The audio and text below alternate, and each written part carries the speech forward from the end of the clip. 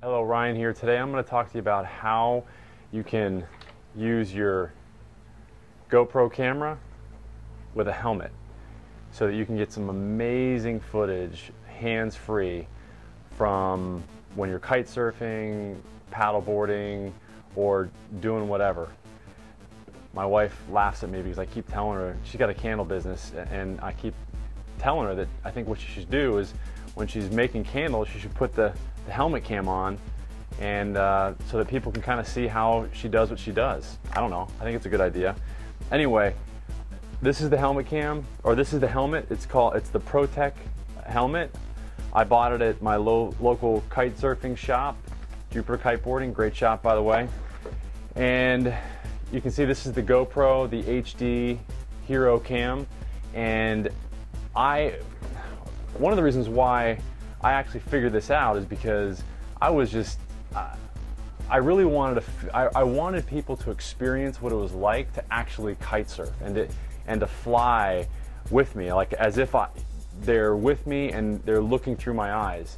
And the cool thing about this is that is that it really has taken it uh, beyond even that. What I what I find myself doing a lot of times is because I'm hands free, I forget that the helmet's even on, and I just I, what I end up doing is is I end up getting some really amazing video of my friends that are out there what kite surfing with me.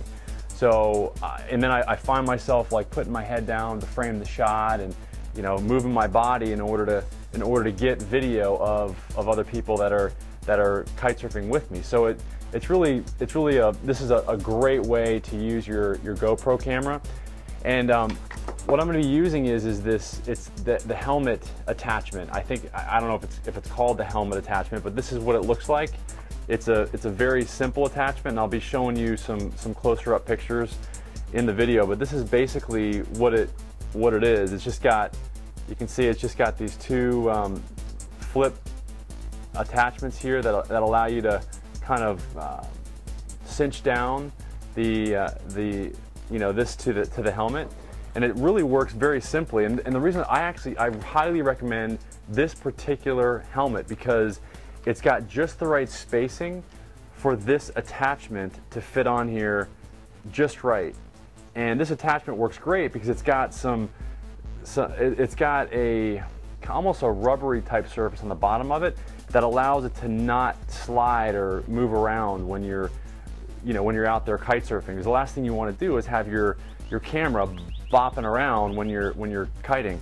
So what you got to do is just is just basically take take this, take the attachment, and you've got to shove got to put the strap through there, put the strap, this other, the other strap through there. So you can kind of see that it's coming through inside there and you can see how it's, it's just right at the, right at the front of the, of the helmet. And then basically all I'm doing is I'm just feeding the straps through the other side and having them come out the other end. So I take one strap and have it come out the end and do the same thing with the other strap. And you can see here that what I have is I end up having two straps that come through the two holes and you can see how, again, how it's spaced just right. So then I, I put the, the strap through the the, uh, the cinch on that side, and then I put the other strap through the other cinch on this side, and then you pull, you pull the, the straps away from each other, and you just pull the, the cinches down, and voila, you've got it attached and it's not gonna slide. That is pretty much perfect now the only thing you want to do is you want to make sure that this, that inside here, you don't have too much of a bump because this is going to be against your head when you're when you're kite surfing. So what I do is, is the extra strap is I just kind of, I kind of just flatten it out inside there and I force it through the other hole. So hopefully that makes sense. It's, you'll see as you, you just got to play with it, but basically you just want to make it so that it's comfortable for you. And in the end, you've got something that you know, that's pretty much out of your way. I mean, you can see that I, I just leave the other attachments there. You can kind of see that's what you end, you end up with. And I'll put it on, you can see. There you go. That's, so it goes on great. The other thing I want to show you is, is, is how the camera actually goes on here. So you can see that I take the camera and I slide it on there just like that. And by the way, I have this, this is the attachment that I use. It's, it's the, it's kind of like a telescoping attachment. I'll put the, the links below in the, in the video, but you know, it, it, it allows you to have some play with the camera itself. You can move it forwards and backwards and, and the reason why I like this is because with this attached on my helmet, I can actually slide it down. If it wasn't catching with that, I can slide this down and actually look at the camera to make any adjustments that I need to if I need to make any adjustments to the camera. So I can, you can see I've, I have all the buttons accessible this way. So this is why I, I use this particular attachment as opposed to just a, a plain attachment like this. You know, it's because it gives me more flexibility to move the camera around on the helmet itself. So I hope that makes sense. And you definitely want to use the longer, um, you want to use the longer attachment here so it's easier to crank this as opposed to the shorter, stubbier one like this one. On this one doesn't matter because it's you can easily accept, you know, get, get to it, but this one you want to make sure it's longer so you can very easily crank down on it when you need to. So I hope that makes sense. Um, here I'm gonna put this on here so you can kind of see how it's how it fits.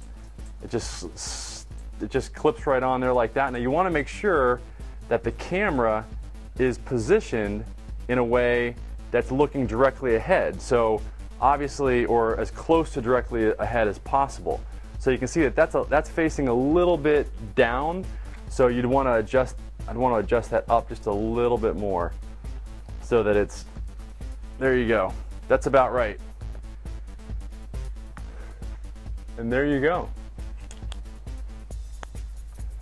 There's the camera on the helmet and you can see that if, you know, if I need to, I can slide the, the camera down and I can get access to any of the buttons here and I can see if the camera's actually recording. I could actually even get a goofy shot of myself that way if I wanted to. I don't know why you would, but anyway, that's it.